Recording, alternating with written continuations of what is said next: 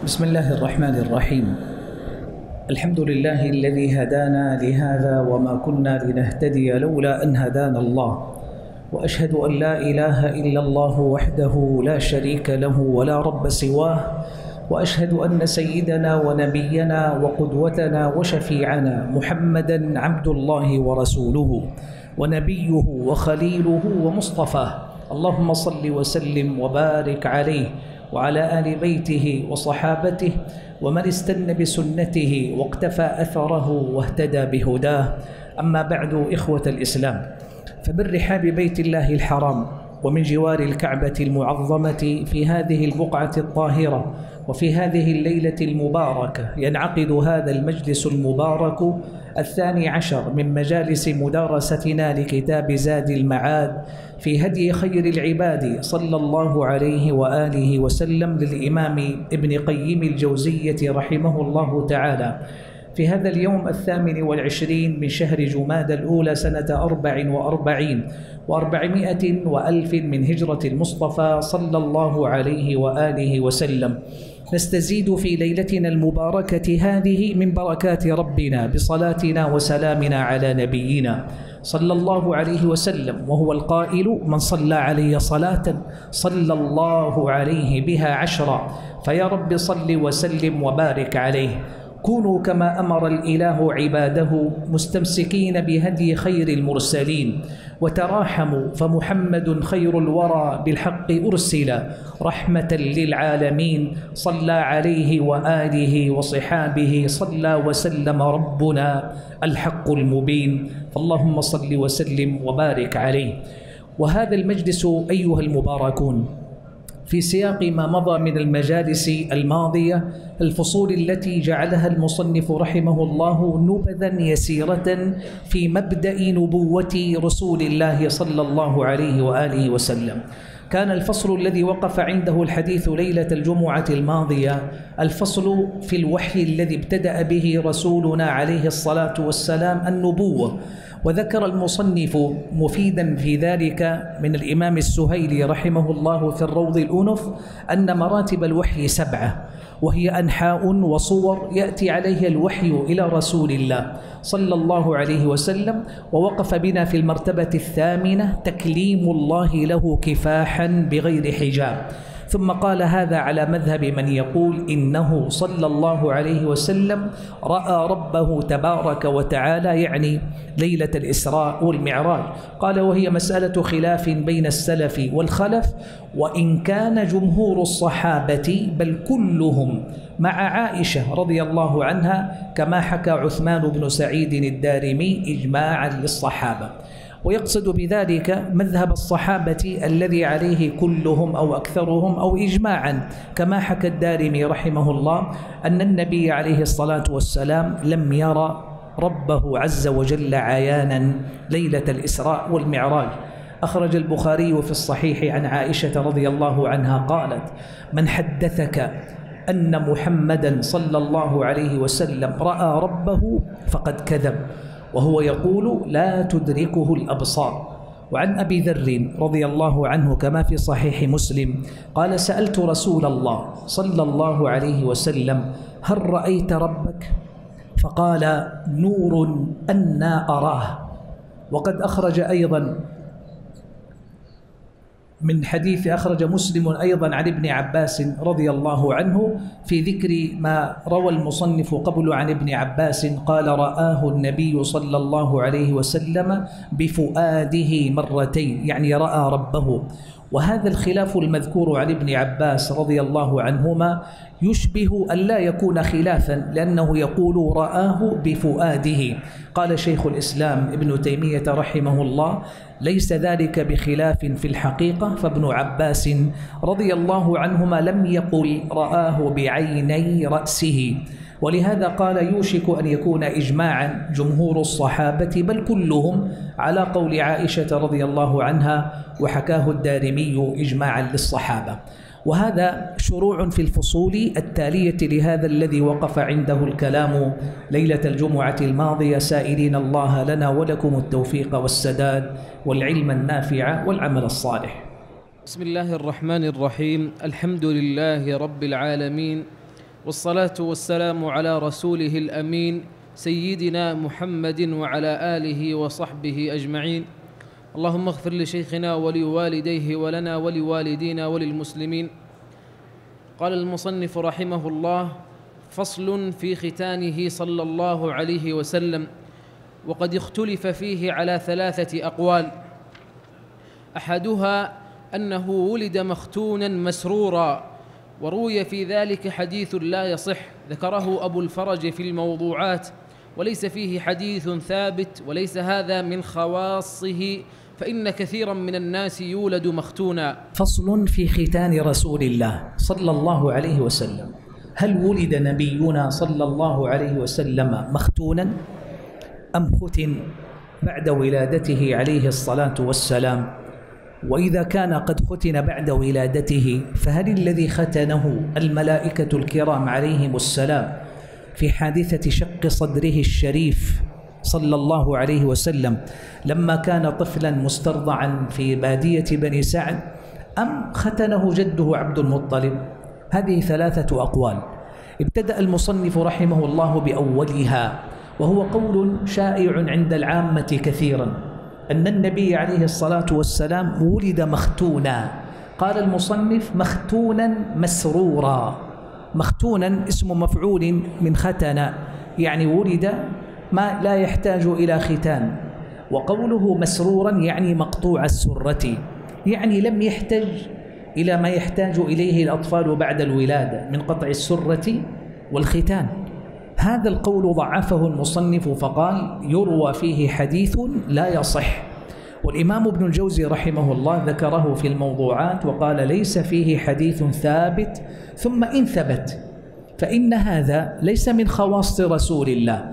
صلى الله عليه وآله وسلم قال فإن كثيرا من الناس يولد مختونا. يعني يقع هذا لبعض من أراد الله له أن يقع.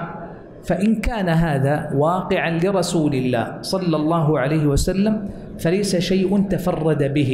ومع ذلك فلا يثبت به دليل ولا يصح. وهذا أول الأقوال. نعم. أحسن الله إليكم. قال رحمه الله وقال الميموني قلت لأبي عبد الله مسألة سئلت عنها. أبو عبد الله الإمام أحمد بن حنبل رحمه الله والميموني أحد أكابر أصحابه وتلاميذه الآخرين عنه يروي هذه المسألة التي وجه بها إلى إمام أهل السنة أبي عبد الله أحمد بن حنبل رحمه الله. قال وقال الميموني قلت لأبي عبد الله مسألة سئلت عنها. ختان ختن صبيا فلم يستقصي قال إذا كان الختان جاوز نصف الحشفة إلى فوق فلا يعيد لأن الحشفة تغلظ وكلما غلظت ارتفع الختان. فأما إذا كان الختان دون النصف فكنت أرى أن يعيد. قلت فإن الإعادة, شديد فإن الإعادة شديدة جدا وقد يخاف عليه من الإعادة. فقال لا أدري. هذه المسألة يسأل فيها الإمام أحمد عن رجل يقول إنه ختن صبيا فلم يستقصي يعني لم يحسن أن يقطع الجلدة بتمامها فأخذ منها جزءا وترك جزءا لم يستقصي.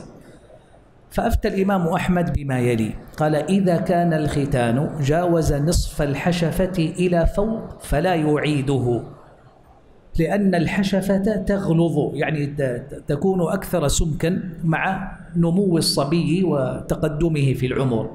وكلما غلظت ارتفع الختان يعني لا حاجة إلى أن يعود فيزيد في قص الختان شيئا إذا كان قد جاوز النصف. قال فأما إذا كان الختان دون النصف فكنت أرى أن يعيد. قال الميموني قلت فإن الإعادة شديدة جدا يعني مؤلمة.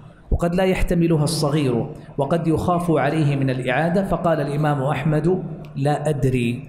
وهذا شأنه رحمه الله وعادته في الفورع الورع والتوقف عن الإجابة في سؤال لا يجد رحمه الله تعالى فيه نصا أو أثرا يسند إليه قوله رحمه الله تعالى.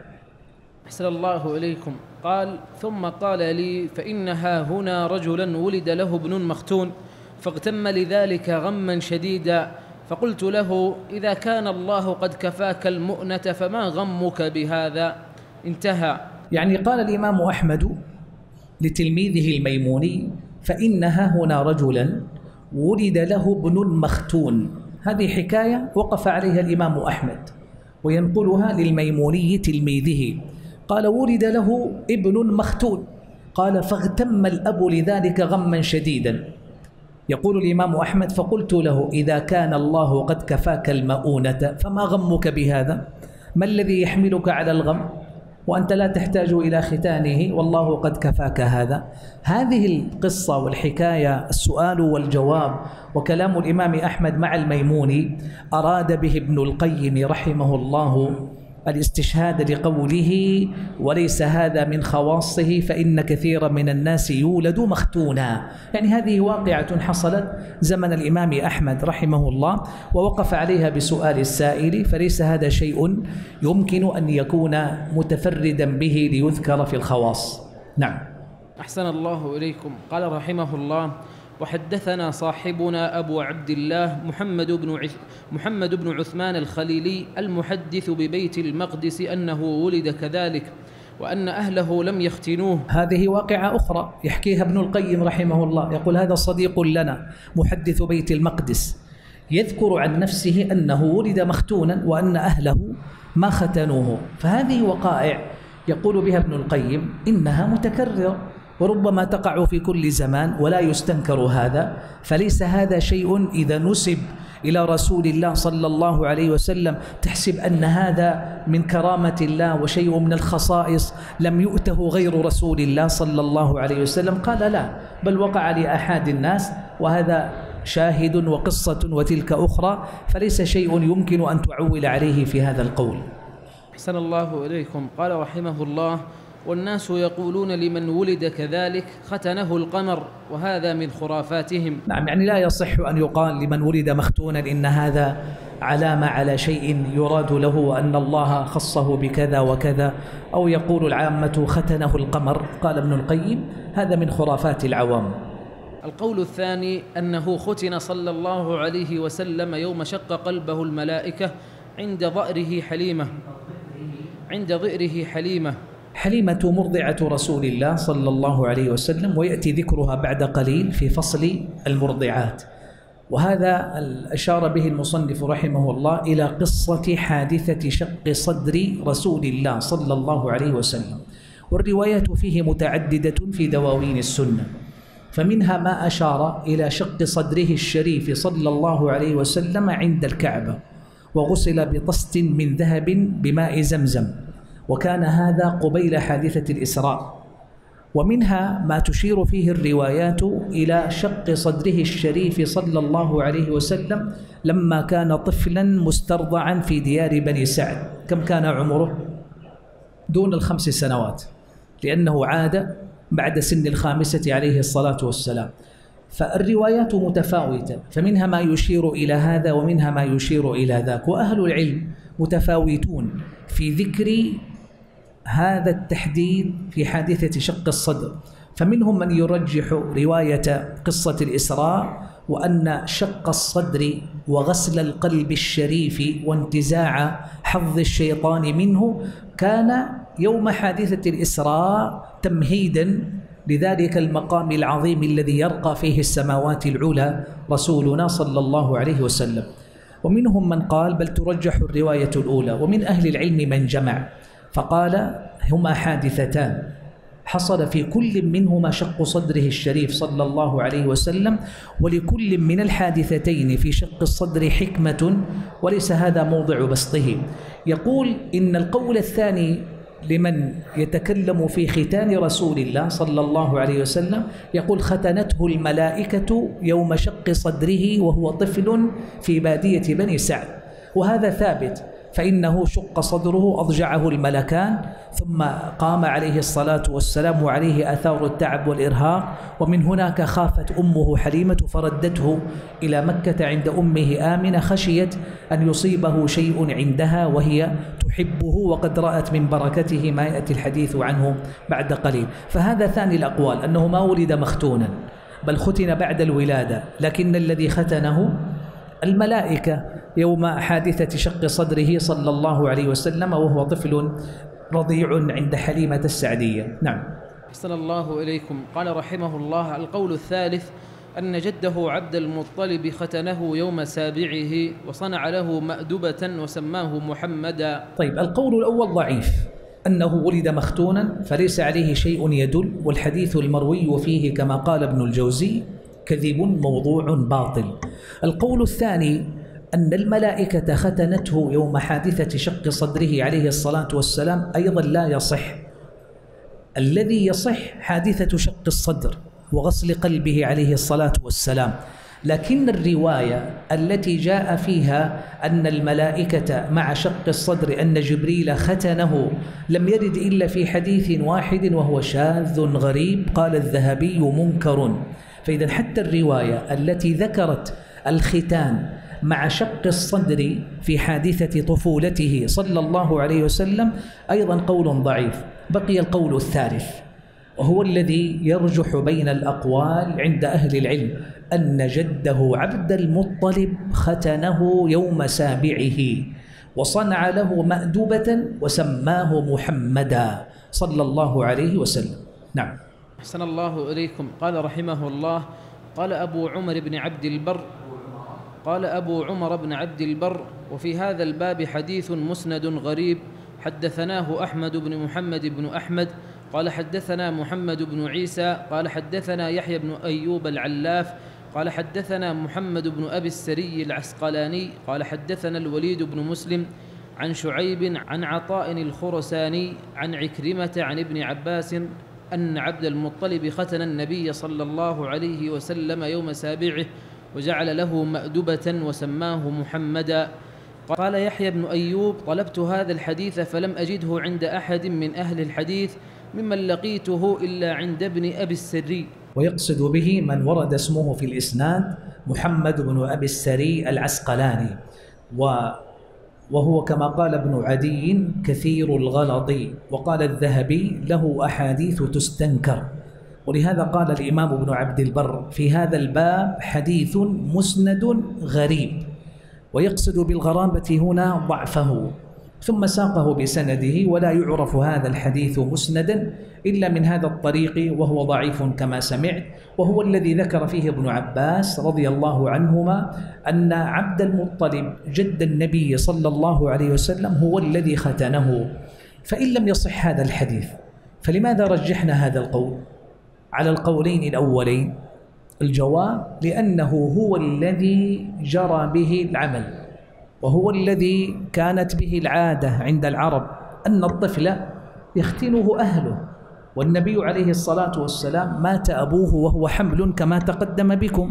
فالذي يتولى أمره وشأنه في مثل هذه الأمور جده عبد المطلب.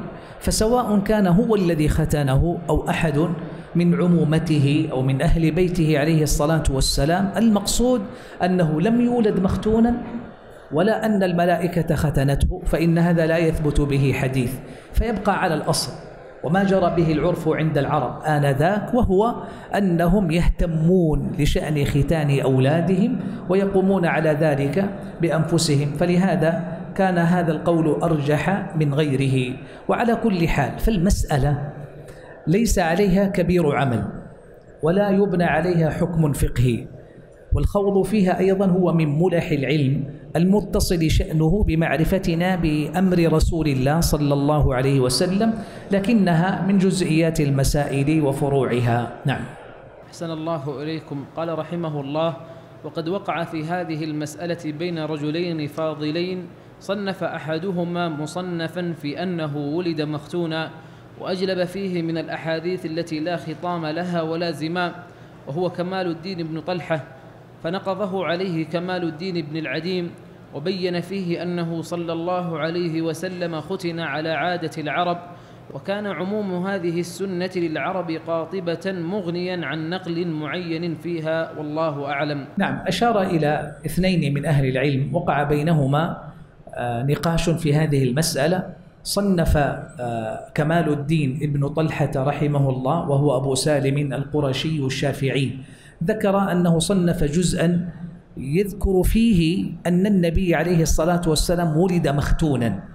فرد عليه فقيه آخر هو كمال الدين ابن العديم. في جزء آخر سماه الملحة في الرد على ابن طلحة. وساق فيه كما يقول المصنف ما كان من شأن العرب وعادتهم وانتصر للقول بما لا حاجة إلى الاستدلال به أو كما قال يغني عن نقل معين فيها والمسألة كما تقدم من فروع المسائل وجزئياتها لا من أصولها المهمات والله أعلم. أحسن الله إليكم. فصل في أم في أمهاته صلى الله عليه وسلم اللاتي أرضعنه. فمنهن ثويبة مولاة أبي لهب. مولاة أبي لهب أرضعته أياما وأرضعت معه أبا سلمة عبد الله بن, بن عبد الأسد المخزومي بلبن ابنها مسروح وأرضعت معهما عمه حمزة بن عبد المطلب واختلف في إسلامها فالله أعلم. هذا الفصل في ذكر أمهات رسول الله صلى الله عليه وسلم بالرضاعة وكثير من بني الإسلام لا يعرف شيئا عنهن. بل لا يكاد يحفظ الناس إلا اسم أمه آمنة بنت وهب. لكنه عليه الصلاة والسلام له أمهات بالرضاع. وسيذكر المصنف رحمه الله ثلاثا منهن. طبعا لم يذكر أمه آمنة وإن كانت هي أمه التي هي أول المرضعات له عليه الصلاة والسلام على الأصل. قال فمنهن ثويبة مولاة أبي لهب. أرضعته أياما وأرضعت معه أبا سلمة بن عبد الله أبا سلمة عبد الله بن عبد الأسد المخزومي بلبن ابنها مسروح وأرضعت معه ما عمه حمزة ابن عبد المطلب واختلف في إسلامها. ثويبة مولاة أبي لهب كانت جارية عنده وهي إحدى مرضعات رسول الله صلى الله عليه وآله وسلم. بل قيل إنها أيضا ممن كان في ولادته كانت إحدى قابلاته اللائي ولدن أمه آمنة. فثويبة هذه أرضعت النبي عليه الصلاة والسلام وحديث إثبات رضاعها صحيح مخرج في الصحيحين أنها أم رسول الله صلى الله عليه وسلم من الرضاعة. كما أخرج البخاري في الصحيح أن أم حبيبة ابنة أبي سفيان زوج رسول الله صلى الله عليه وسلم. قالت يا رسول الله انكح أختي بنت أبي سفيان. قال أو تحبين ذلك؟ فقالت نعم. لست لك بمخلية وأحب وأحب من شاركني في خير أختي. قالت أنا لن أتفرد بك زوجا ولك زوجات. فإن كان ولا بد من الضرائر فأختي أحب من تكون شريكة معي في زواجها بسيد الأمة رسول الله صلى الله عليه وسلم. قال أو تحبين ذلك؟ قلت نعم لست لك بمخلية وأحب من شاركني في خير أختي. فقال النبي عليه الصلاة والسلام إن ذلك لا يحل لي. قالت أم حبيبة فإنا نحدث أنك تريد أن تنكح بنت أبي سلمة. قال إن ذلك لا يحل لي. يعني لن يجمع عليه الصلاة والسلام بين المرأة وأختها. فقالت عندئذ من فقهها رضي الله عنها إذا كان المانع من زواج أختي أنها أختي؟ قالت فإنا نحدث أنك تريد أن تنكح ابنة أبي سلمة. قالت سمعنا هذا وحديث يدور أنك ستتزوج بنت أبي سلمة. لماذا أوردت هذا الإيراد؟ لأن أم سلمة أمها زوجة رسول الله صلى الله عليه وسلم. فكيف سيتزوج البنت مع أمها؟ قالت فإنا نحدث أنك تريد أن تنكح بنت أبي سلمة. فقال بنت أم سلمة؟ يريد التأكيد عليها. أم سلمة زوجتي بنت أم سلمة؟ قلت نعم. قال لو أنها لم تكن ربيبة في حجري ما حلت لي. قال أولا هي ربيبتي. من الربيبة؟ بنت الزوج. قال أولا هي ربيبتي. ويكفي أنها ربيبتي في عدم حلها لي لأن الله ذكر في المحرمات وربائبكم اللاتي في حجوركم من نسائكم اللاتي دخلتم بهن قال ومع ذلك فثمة سبب آخر يمنعني من نكاحها حتى لو لم تكن ربيبتي. قال أما إنها لو لم تكن ربيبتي في حجري ما حلت لي؟ إنها لبنة أخي من الرضاعة. من يقصد؟ أبا سلمة أبوها. قال أرضعتني وأبا سلمة ثويبة. فنص عليه الصلاة والسلام على ذكر ثويبة أنها أمه بالرضاع. قال أرضعتني وأبا سلمة ثويبة فلا تعرضن علي بناتكن ولا أخواتكن. قال عروة وثويبة مولاة لأبي لهب.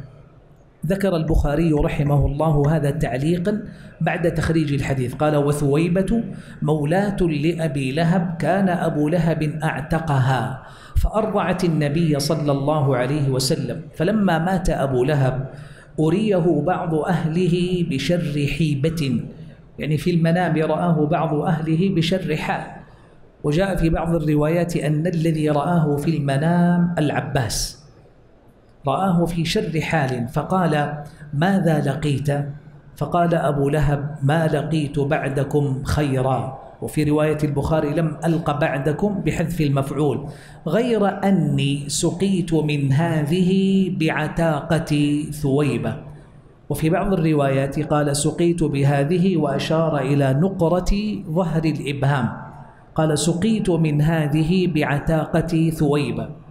يشير إلى أنه وجد في عذابه في النار والعياذ بالله شيئا من تخفيف العذاب. يسقى ماء يسيرا بقدر ما يجده من نقرة الإبهام الذي يسقى منه يشير إلى قلة ذلك. ثم علل فقال بعتاقة ثويبة يعني بسبب عتقه لثويبة وثويبة أم رسول الله صلى الله عليه وآله وسلم بالرضاع. هذا الأثر عن عروة ليس حكما شرعيا لأنه يورد إشكالا. فهل يخفف عن الكافر المخلد في النار؟ من الأهل الكفر لا من أهل الإسلام. هل يخفف عنه العذاب الذي دلت عليه نصوص الشريعة وتقررت أدلتها وتواترت أن الكافر في نار جهنم خالد مخلد فيها؟ إلا ما ورد النص بشأنه وذاك خصوصية في أبي طالب عم رسول الله صلى الله عليه وسلم أنه أهون أهل النار عذابا. وما عدا ذلك فلا يصح. فإذا قيل هذا الخبر أخرجه البخاري في الصحيح فالجواب أن البخاري لم يخرجه حديثا مرفوعا. تم الحديث فقال فلا تعرضن علي بناتكن ولا أخواتكن. ثم قال قال عروة وثويبة كذا وكذا. فهذا أثر يرويه عروة. ثم هو قصة. ويحكي فيه مناما رؤيا. والأحكام لا تبنى من الرؤى إلا إذا كانت رؤيا أنبياء. فرؤى الأنبياء وحي كما تقدم ليلة الجمعة الماضية فالمقصود أن هذا ليس مما يورد الإشكال وبعض الناس يسأل عنه وهذا الخبر مرسل أرسله عروة لم يذكر من حدثه به قال عروة وثويبة عروة ما أدرك ثويبة. ثم على تقدير أن يكون موصولا ومتصلا بالسند فهو رؤيا كما سمعت. قال الحافظ ابن حجر ولعل الذي رآها لم يكن إذ ذاك أسلم بعد فلا يحتج به. ومعلوم أن العباس لم يسلم حتى فتح مكة والرؤيا وقعت عقب غزوة بدر. ثم قال البيهقي ما ورد من بطلان الخبر للكفار فمعناه أنهم لا يكون لهم التخلص من النار ولا دخول الجنة ويجوز أن يخفف عنهم من العذاب على ما ارتكبوه سوى الكفر بما عملوه من الخيرات. قال القاضي عياض إن عقد الإجماع على أن الكفار لا تنفعهم أعمالهم ولا يثابون عليها بنعيم. هذا أبو لهب الذي ذمه الله في القرآن في آية تتلى إلى يوم القيامة. تبت يدا أبي لهب وتب. ما أغنى عنه ماله وما كسب سيصلى نارا ذات لهب. فهذا الوعيد جزاء ما صنعه في عدائه لرسول الله صلى الله عليه وسلم وكفره وأذاه كان هذا جزاء بما صنع والنبي عليه الصلاة والسلام محفوظ بحفظ الله عز وجل له. فالمقصود أن لا إشكال في ذلك وما ذكره ها هنا عروة قال فيه ابن حجر رحمه الله وثويبة مولاة أبي لهب ذكرها ابن منده في الصحابة. ولهذا قال المصنف اختلف في إسلامها. هل هي ممن أسلم فتكون صحابية أو ليس كذلك؟ أشار المصنف إلى الاختلاف. ذكرها ابن مندة في الصحابة وقال اختلف في إسلامها. قال أبو نعيم أيضا لا نعلم أحدا ذكر إسلامه غيره يعني غير ابن منده فلا أحد ممن صرح بإسلامها. قال والذي في السير أن النبي صلى الله عليه وسلم كان يكرمها. وكانت تدخل عليه بعدما تزوج خديجة وكان يرسل إليها الصلة من المدينة إلى أن كان بعد فتح خيبر ماتت ومات ابنها مسروح. فهل يثبت إسلامها؟ العلم عند الله لكن حتى إهداء النبي عليه الصلاة والسلام لها وصلته إياها إحسانا ومعروفا وبرا ليس بالضرورة أن يكون دليلا على إسلامها فإن النبي عليه الصلاة والسلام صاحب معروف وإسلام وإحسان مع المسلم والكافر خصوصا من ذوي قرابته أو من كان له صلة ومعروف وإحسان والنبي عليه الصلاة والسلام أوفى ابن آدم ذمة وبرا وإحسانا صلوات الله وسلامه عليه. بقي أن تعرف من الفائدة أن ثويبة وهي أم رسول الله صلى الله عليه وسلم بالرضاع أرضعت معه اثنين من الصحابة. هما أخوان لرسول الله صلى الله عليه وسلم بالرضاع. أبو سلمة وسمعت اسمه قبل قليل في حديث البخاري لما طلبت أم حبيبة أن يتزوج ابنتها فأن يتزوج أختها. فأبو سلمة عبد الله بن عبد الأسد المخزومي الصحابي الجليل الذي هاجر ثم لحقته زوجه أم سلمة واستشهد رضي الله عنه فأكرم الله زوجه أم سلمة بالزواج من رسول الله صلى الله عليه وسلم فكانت أما من أمهات المؤمنين.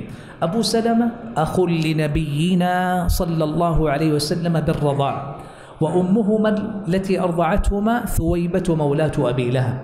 والثاني من أخويه بالرضاعة من ثويبة حمزة بن عبد المطلب عم رسول الله صلى الله عليه وسلم. أسد الله وأسد رسوله عليه الصلاة والسلام سيد الشهداء في غزوة أحد عم رسول الله عليه الصلاة والسلام وأخوه بالرضاع. ذلك أن سنه مقارب لسن رسول الله صلى الله عليه وآله وسلم. نعم. أحسن الله إليكم. قال رحمه الله ثم أرضعته حليمة السعدية بلبن ابنها عبد الله أخي أنيسة وجدامة وهي الشيماء أولاد الحارث بن عبد العزى بن رفاعة السعدي واختلف في إسلام أبويه من الرضاعة فالله أعلم. ثاني أمهات النبي عليه الصلاة والسلام حليمة السعدية التي يعرفها عامة المسلمين. صغارا وكبارا آباء وأبناء. فإذا قيل أمه التي ولدته آمنة فمن مرضعته؟ فالكل يعلم أنها حليمة السعدية. حليمة بنت أبي ذؤيب عبد الله بن عبد الحارث من بني سعد بن بكر من قبيلة هوازن. وديار بني سعد لا تزال إلى اليوم جنوب مكة بعد الطائف. في تلك الديار رضع رسول الله عليه الصلاة والسلام على عادة قريش التي كانت تبعث بأطفالها إلى البادية للرضاع يبحثون لهم عن الجو الصحي والبادية النقية وفصاحة اللسان والتربية على الشيم والكرم والمروءة والنبل والحزم وشدة العود فكانت عادة عند قريش تبعث بأطفالها للرضاع وقصة آه، استرضاع رسول الله عليه الصلاة والسلام في بني سعد وظفر حليمة به معلوم. أرضعته بلبن ابنها عبد الله أخي أنيسة وجدامة وهي الشيماء. هؤلاء الثلاثة إخوة رسول الله عليه الصلاة والسلام بالرضاع من أمه حليمة عبد الله وأنيسة وجدامة قال وهي الشيماء الاسم المشهور أن الشيماء بنت حليمة السعدية أخت رسول الله عليه الصلاة والسلام بالرضاع ويأتي ذكرها بعد قليل. هؤلاء أولاد الحارث ابن عبد العزى ابن رفاعة السعدي. من هذا؟ هذا أبو رسول الله صلى الله عليه وسلم بالرضاع. زوج حليمة هو الحارث ابن عبد العزى ابن رفاعة السعدي نسبة إلى بني سعد. قال المصنف رحمه الله واختلف في إسلام أبويه من الرضاعة فالله أعلم. جزم كثير من الحفاظ بإسلام حليمة وزوجها الحارث بن عبد العزى. جزموا بأنهما قد أسلما كما فعل الحافظ ابن حجر رحمه الله في الإصابة. وكذا الإمام ابن عبد البر في الاستيعاب قال روت عن النبي صلى الله عليه وسلم وروى عنها ابنها عبد الله ابن جعفر وروى عنها عبد الله بن جعفر. وقال ابن الجوزي أيضا قدمت عليه بعد النبوة فأسلمت وبايعت وأسلم زوجها الحارث بن عبد العزى وكذا قال الزركري قد وفدت مع النبي صلى الله عليه وسلم. وفدت أو قال قدمت مع زوجها بعد النبوة فأسلما ومع ذلك فليس هنا نص صريح جازم يثبت به وبعضهم يحيل الأمر إلى علم الله كما صنع المصنف قال واختلف في إسلام أبويه من الرضاعة فالله أعلم.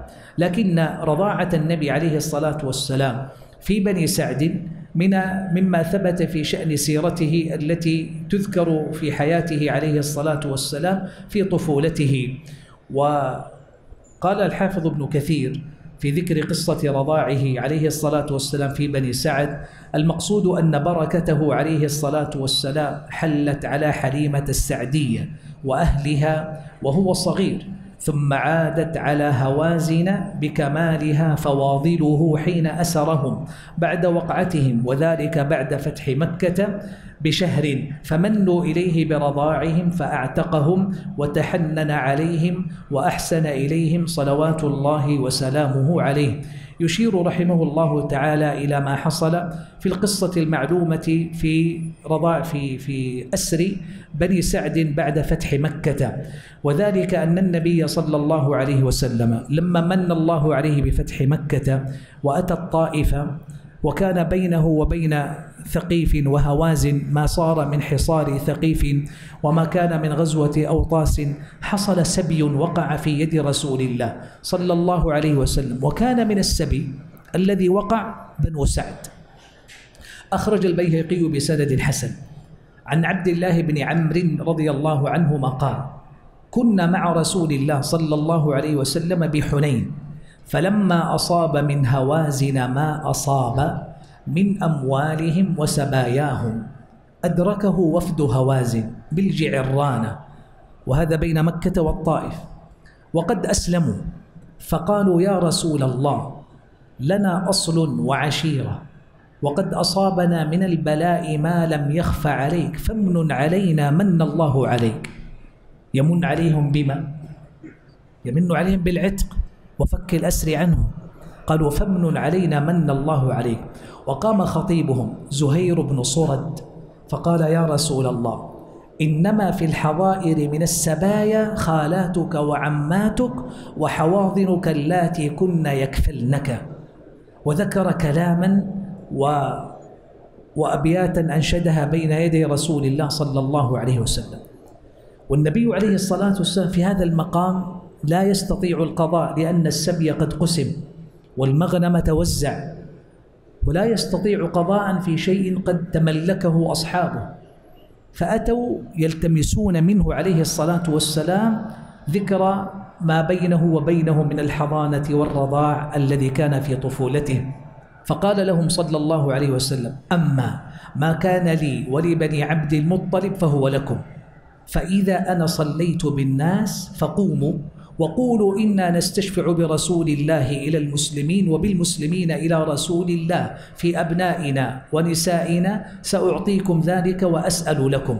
فلما صلى رسول الله صلى الله عليه وسلم بالناس صلاة الظهر قاموا فقالوا ما أمرهم به رسول الله صلى الله عليه وسلم أن يقولوه؟ ثم قال لهم عليه الصلاة والسلام والصحابة حاضرون بعد الصلاة قال أما ما كان لي ولبني عبد المطلب فهو لكم ولم يحكم على غيره لكنها حكمة من رسول الله عليه الصلاة والسلام وهو يعلم ما لقدره من المكانة في قلوب أصحابه من المهاجرين والأنصار. لما تكلم وفد هوازن وطلبوا المن عليهم برفع الأسر وإطلاق سراحهم قال أما ما كان لي ولبني عبد المطلب فهو لكم يعني هذا الذي لنا. نتنازل عنه. فقال المهاجرون وما كان لنا فهو لرسول الله صلى الله عليه وسلم. فقالت الأنصار وما كان لنا فهو لرسول الله صلى الله عليه وآله وسلم. قال الإمام ابن كثير رحمه الله أطلق لهم الذرية وكانت ستة آلاف ما بين صبي وامرأة وأعطاهم أنعاما وأناسية كثيرة. حتى قال أبو الحسين بن فارس فكان قيمة ما أطلق لهم يومئذ خمسمائة ألف ألف درهم. يعني 500 مليون كما نقول اليوم بالاصطلاح في قيمته السوقية كما يقال لو أردت تقييمه.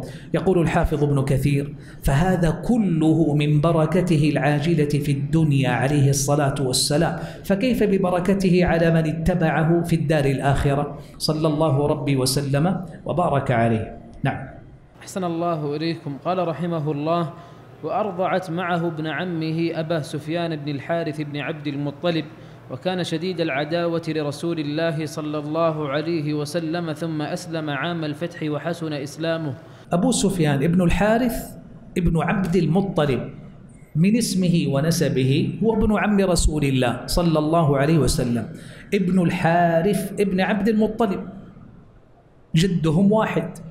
أبو سفيان هذا كان من أشد الناس عداوة لرسول الله عليه الصلاة والسلام بمكة قبل أن يسلم. وهو أخوه من الرضاع. لكنه ليس كحمزة حمزة أخوه من حليمة وهذا أخوه عفوا حمزة أخوه من ثويبة وأبو سفيان أخوه من حليمة السعدية. أرضعته كما أرضعت رسول الله عليه الصلاة والسلام. يقول ابن القيم كان شديد العداوة لرسول الله صلى الله عليه وسلم ثم أسلم عام الفتح وحسن إسلامه. بل هو من القلة الذين ثبتوا مع رسول الله عليه الصلاة والسلام يوم فر الناس يوم حنين. ولقد نصركم الله في مواطن كثيرة ويوم حنين إذ أعجبتكم كثرتكم فلم تغن عنكم شيئا وضاقت عليكم الأرض بما رحبت ثم وليتم مدبرين. حتى أقبل النبي عليه الصلاة والسلام ببغلته ينطلق في الساحة قائلا أنا النبي لا كذب أنا ابن عبد المطلب. ثبت معه قلة كان منهم العباس عمه وأبو سفيان ابن الحارث ابن عمه وأخوه بالرضاع. أبو سفيان بن الحارث قيل اسمه المغيرة ابن الحارث وقيل بل اسمه كنيته والمغيرة أخوه فالله أعلم. لكنه مشتهر بكنيته أبو سفيان ابن الحارث. حسن إسلامه. وثبت مع رسول الله عليه الصلاة والسلام. ثم كان له البلاء الحسن بل هو أحد الأربعة المشبهين في خلقتهم برسول الله عليه الصلاة والسلام. فإنهم يقولون إن أشبه الناس برسول الله صلى الله عليه وسلم من الصحابة أربعة جعفر ابن أبي طالب ابن عمه والحسن ابن علي حفيده وسبطه. والثالث قثم ابن العباس ابن عمه والرابع أبو سفيان ابن الحارث ابن عمه. فثلاثة من بني عمومته جعفر وأبو سفيان وقثم والرابع حفيده وسبطه الحسن بن علي رضي الله عنهم جميعا.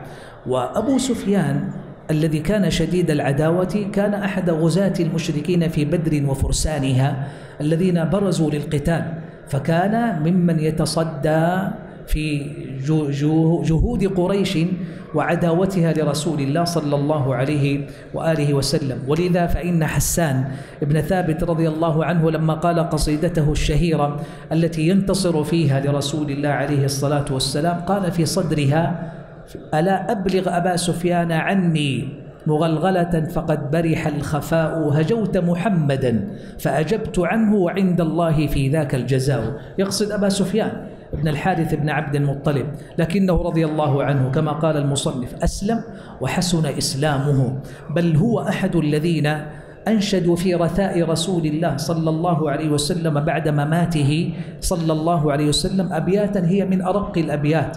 وأعذبها يقول فيها رضي الله عنه أرقت فبات ليلي لا يزول وليل أخي المصيبة فيه طول وأسعدني البكاء وذاك فيما أصيب المسلمون به قليل فقد عظمت مصيبتنا وجلت عشية قيل قد قبض الرسول. فقدنا الوحي والتنزيل فينا يروح به ويغدو جبرائيل وذاك أحق ما سالت عليه نفوس الخلق أو كادت تسيل نبي كان يجلو الشك عنا بما يوحى إليه وما يقول. ويهدينا فلا نخشى ضلالا علينا والرسول لنا دليل. فلم نر مثله في الناس حيا وليس له من الموتى عديل. أفاطم إن جزعت فذاك عذر وإن لم تجزعي فهو السبيل. فعودي بالعزاء فإن فيه ثواب الله والفضل الجزيل وقولي في أبيك ولا تملي وهل يجزى بفضل أبيك قيل فقبر أبيك سيد كل قبر وفيه سيد الناس الرسول صلى الله عليه وآله وسلم. نعم.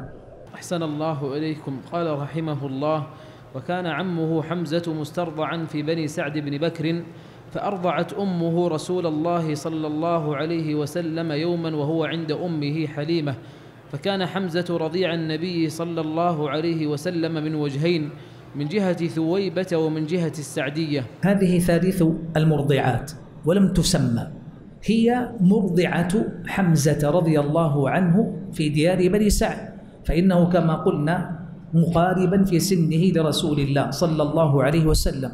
وعاش أيضا في ديار بني سعد طفلا تأخذه المرضعات. فلما كان ذات يوم أرضعت هذه المرضعة مرضعة حمزة أرضعت رسول الله صلى الله عليه وسلم يوما وهو عند أمه حليمة. فلما أصاب من رضاعها صارت أمه بالرضاع. وصار بهذا حمزة أخ أخا له بالرضاع من جهتين من جهة ثويبة التي أرضعت النبي عليه الصلاة والسلام وحمزة معه ومن جهة أمه السعدية هذه. ولك أن تقول في الأمهات السعديات ثنتان أمهات رسول الله عليه الصلاة والسلام. أولاهن حليمة والثانية أم حمزة التي أرضعته ولا يدرى اسمها والله أعلم. أحسن الله إليكم. فصل في حواضنه صلى الله عليه وسلم. ما المقصود بالحواضن؟ جمع حاضنة والمراد بها المراد بها نعم الراعية التي ترعى الطفل وتحضنه. لا يشترط أن تكون المرضعة حاضنة ولا الحاضنة مرضعة. نعم قد يجتمع الاثنان فتكون أما مرضعة وحاضنة في الوقت نفسه. لكن ما نسميهن اليوم المربيات أو الحاضنات التي ترعى الطفل في طفولته فتقوم على شأنه وترعى حاله في طعامه وشرابه ولباسه وتطببه إذا مرض وتنيمه وتأخذه وتحمله. تسمى حاضنة. كان للنبي عليه الصلاة والسلام حواضن ليست واحدة. فأول من تصدر من الحواضن أمه التي أنجبته آمنة. بنت وهب بن عبد مناف ثم ستذكر المرضعات ستذكر ثويب تذكر حليمة ثم تذكر من تولى حضانته غير أمهاته. نعم. قال رحمه الله فمنهن أمه آمنة بنت وهب بن عبد مناف بن زهرة بن كلاب ومنهن ثويبة وحليمة والشيماء ابنتها. نعم. أما ثويبة فتقدم ذكرها وحليمة كذلك لأنهن مرضعات. لرسول الله صلى الله عليه وسلم فهن أيضا حاضنات قال والشيماء ابنتها ابنة من؟ ابنة حليمة وهي أخت رسول الله عليه الصلاة والسلام كيف تكون أخته وحاضنة؟ الجواب أنها أكبر منه لأن النبي عليه الصلاة والسلام لما رضع من أمها لم يكن ذاك لبنها بل لبن أخيها عبد الله فهي أكبر فلأنها كانت كبيرة كانت تساعد أمها حليمة في رعاية محمد صلى الله عليه وسلم لما كان طفلا رضيعا. نعم. قال وهي أخت وهي أخته من الرضاعة كانت تحضنه مع أمها وهي التي قدمت عليه في وفد هوازن فبسط لها رداءه وأجلسها عليه رعاية لحقها. كانت تحضنه وترعاه. وربما حملته إذا اشتد الحر ثم هي تتابعه تأخذه وتلعبه وكانت تنشد فيما يذكر أهل السير ومثل هذا لا يروى له إسناد حتى يحكم بصحته أو ضعفه لكنه مما تذكره كتب الأخبار والتواريخ. كانت تأخذه وتحمله وتلعبه فتنشد قائلة يا ربنا أبق لنا محمدا حتى أراه يافعا وأمردا ثم أراه سيدا مسودا واكبت أعاديه معا والحسدا فكان أبو عروة الأزدي إذا أنشد هذه الأبيات يقول ما أحسن ما أجاب الله دعاءها. فهي تدعو له لما كان طفلا فكتب الله له شأن النبوة العظيم. الشيماء التي أشار المصنف هنا إلى قوله كانت تحضنه مع أمها وهي التي قدمت عليه في وفد هوازن. سمعتم قبل قليل أنه لما وقع الأسر من هوازن أتوا إلى رسول الله عليه الصلاة والسلام يلتمسون المن عليهم بالفداء والعتق فكانت الشيماء إحدى من دخل عليه صلى الله عليه وآله وسلم وجاءت كما يذكر الذهبي قال لما كان يوم فتح هوازن جاءت امرأة إلى رسول الله صلى الله عليه وسلم فقالت أنا أختك شيماء بنت الحارث. لأن هو ما رآها منذ متى؟ إذا افترضنا أنه غادر ديار بني سعد في سن الخامسة وفي فتح مكة كم كان سنه عليه الصلاة والسلام؟ فتح مكة في أي سنة؟ في السنة الثامنة كم كان عمره عليه الصلاة والسلام؟ يعني عندك ثلاثة عشرة سنة بمكة وثمانية بعد الفتح بعد الهجرة إحدى وعشرون أضف عليها أربعين سنة. كان عمره واحد وستين سنة. فإذا غاب هذه الفترة فدخلت امرأة قالت أنا أختك شيماء بنت الحارث. قال إن تكوني صادقة فإن بك مني أثرا لن يبلى. هناك علامة إن كنت صادقة. قالت فكشفت عن عضدها ثم قالت نعم يا رسول الله حملتك وأنت صغير فعضدتني هذه العضة. فبسط لها رداءه ثم قال سل سلي تعطي واشفعي. تشفع الحديث في في رواته بعض من ضعف فيه الحكم بن عبد الملك ضعفه ابن معين.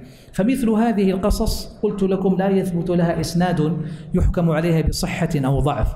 فلما جاءت هي القصة التي أشار إليه المصنف قدمت في وفد هوازن فبسط لها الرداء. بسط الرداء إكراما لها صلى الله عليه وسلم وهو أعف وأكرم وأوفى من يبذل المعروف والإحسان صلوات الله وسلامه عليه بل كان وفاؤه ومعروفه وإحسانه كان تعليما للأمة وإرشادا لها وهو الذي تستقي منه الأمة معاني الوفاء والكرم والمعروف والبذل والإحسان ليس بقوله بل بقوله وفعله صلوات الله وسلامه عليه فكان موقفه مع أخته الشيماء. إن ثبت بذلك الأثر وصح السند من الشواهد الكثيرة جدا في سيرته العطرة صلى الله عليه وسلم التي تقطر بكل المعاني الكريمة والشيم النبيلة بذلا ومعروفا ووفاء وإحسانا صلوات الله وسلامه عليه. وبنو سعد بن هوازن كما قلنا من هوازن لما جاءوا إليه ويذكر بعض أرباب التواريخ والسير في تفصيل آخر أن لما جاءت الشيماء مع وفد هوازن وهم يطلبون المن قال عليه الصلاة والسلام نساؤكم وأبناؤكم أحب إليكم أم أموالكم؟ لأنهم وقعوا في الأسر أزواجهم وأولادهم وأموالهم وقعت غنيمة. فقال ما الذي تريدون المحافظة عليه؟ أعراضكم أم أموالكم؟ فقالوا يا رسول الله خيرتنا بين أحسابنا وأموالنا بل أبناؤنا ونساؤنا أحب إلينا. فقال ما مضى قبل قليل في الرواية؟ قال ما كان لي ولبني عبد المطلب فهو لكم. فإذا قمت في الناس بعد الصلاة فقولوا كذا وكذا إلى آخر الرواية. نعم. أحسن الله إليكم. قال رحمه الله ومنهن الفاضلة الجليلة أم أيمن بركة الحبشية. منهن أي من الحواضن من حاضنات النبي عليه الصلاة والسلام. غير أمه آمنة وثويبة وحليمة والشيماء. هذه أم بركة مولاة رسول الله صلى الله عليه وسلم وهي أيضا من حاضناته لما كان طفلا عليه الصلاة والسلام. وكان ورثها من أبيه وكانت دايته. يعني من القابلات اللائي ولدن أمه آمنة. وزوجها من حبه زيد بن حارثة فولدت له أسامة. زيد بن حارثة الذي كان يدعى بمكة زيدا ابن محمد حتى نزل قوله تعالى في آية النساء في نفي التبني آه، ادعوهم لآبائهم. وقال سبحانه وتعالى ما كان محمد أبا أحد من رجالكم ولكن رسول الله وخاتم النبيين فزوج النبي عليه الصلاة والسلام حبيب قلبه. ومن كان في مقام ابنه أسامة عفوا زيد بن حارثة زوجه من مولاته أم أيمن بركة الحبشية. فأنجبت له ذاك الفتى الذي كان يحبه رسول الله عليه الصلاة والسلام أسامة بن زيد. الحب ابن الحب الحبيب ابن الحبيب عند رسول الله صلى الله عليه وآله وسلم. ومن هنا كان لون أسامة في السمرة مغايرا للون أبيه. من أثر أمه أم بركة أم أيمن الحبشية. ولهذا سر عليه الصلاة والسلام لما عرف بعض المتقفين للأثر النسب من أثر الأقدام كما في حديث المدلجي. نعم. أحسن الله إليكم. قال رحمه الله وهي التي دخل عليها أبو بكر وهي التي دخل عليها أبو بكر وعمر بعد موت النبي صلى الله عليه وسلم وهي تبكي فقال يا أم أيمن ما يبكيك؟ فما عند الله خير لرسوله. قالت إني لأعلم أن ما عند الله خير لرسوله وإني إنما أبكي لانقطاع خبر السماء فهيجتهما على البكاء فبكيا. هذا في صحيح مسلم من حديث أنس رضي الله عنه وهي صاحبة القصة في الرواية وهي آه، من حاضنات رسول الله صلى الله عليه وآله وسلم. تم الفصل وللفصول الآتية تباعا بقية في مجالسنا المقبلة إن شاء الله تعالى. وكذلك ما يزال في جمعتكم بقية باقية ليلتكم ويوم غدكم تغتنمون فيها أجر الذكر والقرآن والصلاة على رسول الله صلى الله عليه وآله وسلم. صلى عليك إله العرش ما نبضت فينا العروق وما امتدت أيادينا صلوا عليه. صلاة الله تبلغكم وذكروا تبلغ أجر المصلين. فيا رب صل وسلم وبارك عليه. أزكى صلاة وأتم سلام.